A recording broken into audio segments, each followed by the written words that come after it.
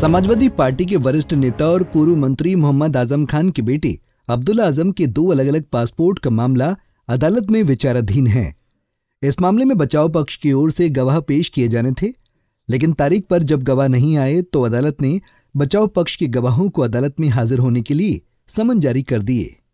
बता दें कि अब्दुल्ला के खिलाफ दो पासपोर्ट का मामला भाजपा विधायक आकाश सक्सेना ने दर्ज कराया था। उनका आरोप है कि अब्दुल्ला ने अलग अलग जन्मतिथि से दो पासपोर्ट बनवाए हैं। इसी मामले में अदालत में सुनवाई होनी थी, लेकिन तारीख पर जब गवाह नहीं आए तो अदालत ने बचाव पक्ष के गवाहों के लिए समन जारी कर दिए। वहीं अब इस मामले में सुनवाई इकतीस जनवरी को होगी, तब बचाव पक्ष के गवाहों को साक्ष्य के लिए अदालत में हाजिर होना है। बता दें कि यह मामला वर्ष 2019 में थाना सिविल लाइन्स में पंजीकृत हुआ था, जिसमें अब्दुल्ला खिलाफ आरोप था कि अब्दुल्ला ने दो पासपोर्ट फर्जी तरीके से बनाए हैं। इसमें अभियोजन का साक्ष्य पूरा हो चुका है। वहीं बचाव पक्ष के साक्ष्य हेतु आज पत्रावली लगी थी, जिसमें बचाव पक्ष द्वारा कोई भी साक्ष्य प्रस्तुत नहीं किया गया। साक्ष्य प्रस्तुत नहीं किए जाने के बाद अभियोजन अधिकारी नीरज कुमार ने क्या कुछ कहा, आपको सुनाते हैं। आज माननीय न्यायालय, विशेष न्यायिक मजिस्ट्रेट श्री शोभित बंसल के न्यायालय में मोहम्मद अब्दुल्ला आज़म खान से संबंधित दो पासपोर्ट का मामला विचाराधीन था। यह मामला वर्ष 2019 में थाना सिविल लाइन्स में पंजीकृत हुआ था। इसमें इनके खिलाफ अभियोग ये था कि इन्होंने दो पासपोर्ट फर्जी तरीके से बनाए हैं।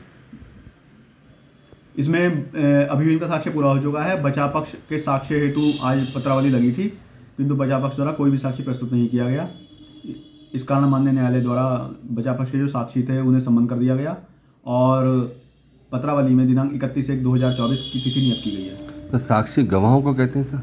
हाँ गवाहों को। तो गवाहों को सम्मन किया है सर? हाँ गवाहों को सम्मन किया है। अब अगली तारीख क्या पड़ी है सर? इकतीस एक दो हज़ार चौबीस। इकतीस ऐसे में मामले की सुनवाई कल यानी इकतीस जनवरी को होनी है। अब देखना ये होगा कि कल बचाव पक्ष मामले में कोई साक्ष्य प्रस्तुत करता है या नहीं। पंजाब केसरी टीवी के लिए रामपुर से रविशंकर की रिपोर्ट।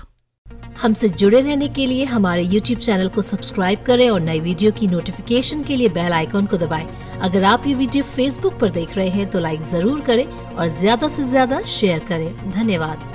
हमसे जुड़े रहने के लिए हमारे यूट्यूब चैनल को सब्सक्राइब करें और नई वीडियो की नोटिफिकेशन के लिए बेल आइकॉन को दबाएँ। अगर आप ये वीडियो फेसबुक पर देख रहे हैं तो लाइक ज़रूर करें और ज़्यादा से ज़्यादा शेयर करें धन्यवाद हमसे जुड़े रहने के लिए हमारे YouTube चैनल को सब्सक्राइब करें और नई वीडियो की नोटिफिकेशन के लिए बेल आइकॉन को दबाएँ।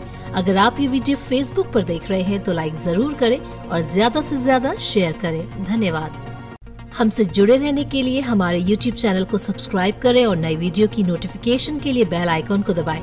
अगर आप ये वीडियो Facebook पर देख रहे हैं तो लाइक ज़रूर करें और ज़्यादा से ज़्यादा शेयर करें धन्यवाद